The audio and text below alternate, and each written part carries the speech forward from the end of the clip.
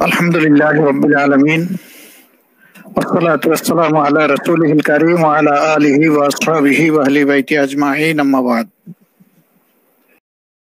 যে কারণে স্বাধীনতা যুদ্ধে জাতি ঝাঁপিয়ে পড়েছিল এটা ছিল একটি শোষণহীন বৈষম্যহীন একটা সমাজ কায়েমের জন্য যুদ্ধে মানুষ গিয়েছিল পাকিস্তানিরা আমাদেরকে শোষণ করেছিল তারা এক দেশের ভিতরে বৈষম্য কায়েম করে বসেছিল এ দুটো জিনিসকে মাটির সাথে মিশানোর জন্যই সেদিন যুদ্ধ করা হয়েছিল। আফসোসের বিষয়, আমরা লক্ষ্য করছি, যাদের নেতৃত্বে এই দেশটি স্বাধীন হয়েছিল, পরবর্তী পর্যায়ে তারাই এই দেশটাকে গভীর কালো গর্তে ফেলে দিয়েছিলেন। তখন দেশের যে চিত্র ছিল, আমার মনে হচ্ছে এখন হুবহু তাই। তখন যারা দেশ পরিচালনা করেছিলেন, এখন তারাই করছেন। আজকে যদি একজন ছাত্রকে জিজ্ঞেস করা হয়, এদেশের নাগরিক হিসাবে আজকে তোমার কি বক্তব্য? সে বলবে, আমি তিনটি অধিকার হারিয়ে হাহাকার করছি। প্রথমত, আমার মেধার বিকাশে রাষ্ট্র আমাকে সহযোগিতা করছে না। আমি লড়াই করে আমার মেধার যেটুকু স্বাক্ষর রাখছি, দ্বিতীয়ত সেই মেধার মূল্যায়ন করা হচ্ছে না। তৃতীয়ত, আমি একজন নাগরিক হিসাবে আমার সবচেয়ে বড় অধিকার যে আমি আমার সমাজের নেতা নির্বাচন করব, আমাকে বুথের অধিকার দেওয়া হচ্ছে না। এরকম কমপক্ষে চার কোটি যুবক পাওয়া যাবে, যারা জীবনে বুটার হওয়ার পরে প্রথমবার তার ভোট নিজে প্রয়োগ করতে পারেনি। যদি একজন যুবককে জিজ্ঞেস করা হয়, তোমার কি বক্তব্য? আজকের এই পঞ্চাশ বছরের মাথায় সে জবাব দিবে, আমি সমাজের দুর্নীতি এবং সমাজের জুলুমের কাছে পিষ্ট। আমি অধিকার হারা। আমি আমার হাতের মূল্যায়ন করতে পারছি না। আমার হাতে আমার প্রাপ্য অনুযায়ী কাজ তুলে দেওয়া হচ্ছে না। শ্রমিককে জিজ্ঞেস করলে তারও জবাব ভিন্ন হবে না। আমার একজন মাকে যদি জিজ্ঞেস করা হয়, আপনি কেমন আছেন? তিনি জবাব দিবেন, বাবা, আমি সম্মান নিয়ে নাই। আমি ঘরের বাইরেও সম্মান নিয়ে থাকতে পারি না, ঘরের ভিতরেও সম্মান নিয়ে থাকতে পারি না। হায়নারা আমার সম্মান নিয়ে কাড়াকাড়ি করে।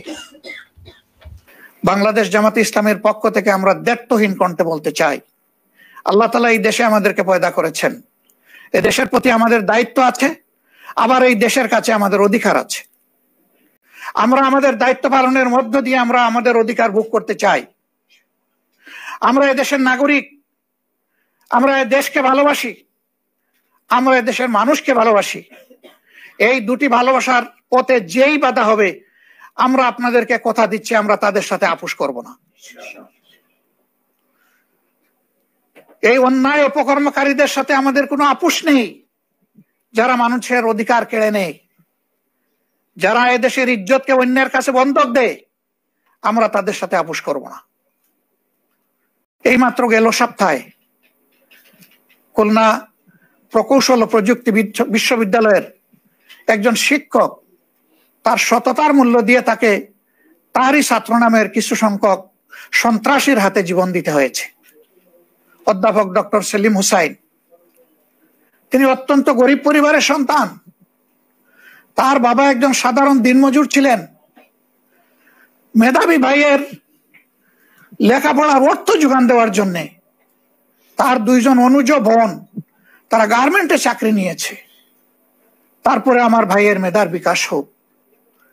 এরকম একজন বিকাশমান মানুষ পাষাণ্ডরা তাকে নিভিয়ে দিল, শেষ করে দিল, একটা পরিবারকে ধ্বংস করে দিল। শিক্ষা প্রতিষ্ঠানে অত্যন্ত জঘন্য একটা নজির স্থাপন করল। এত বড় ঘটনা ঘটার পর আজ পর্যন্ত একটি সন্ত্রাসীকেও গ্রেপ্তার করা হয়নি। আজকে একাশি বছর বয়সে শুধু বাংলাদেশের মুসলমানরা না, বিশ্বের মুসলমান এবং নির্যাতিত মানুষের পক্ষে এক আপোষহীন বলিষ্ঠ কোরআনিক কণ্ঠ, জীবন্ত তফসির।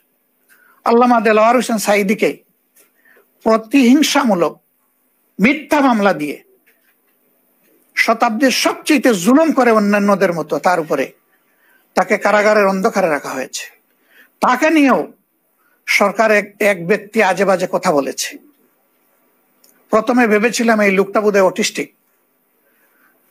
করোনা হয়েছিল যে অটিস্টিক লোকের কথায় আবার জবাব দেওয়ার দরকার কি? কিন্তু দেখলাম না। সে তো চালিয়েই যাচ্ছে, কাউকেই সার দিচ্ছে না। এই জন্য আমাদেরকে বাধ্য হয়ে কথা বলতে হচ্ছে। রাষ্ট্র যদি অন্যায়ের পক্ষ নেয় এবং পৃষ্ঠপোষকতা দেয়, তাহলে মানুষের অধিকার সংরক্ষণ করবে করবেটাকে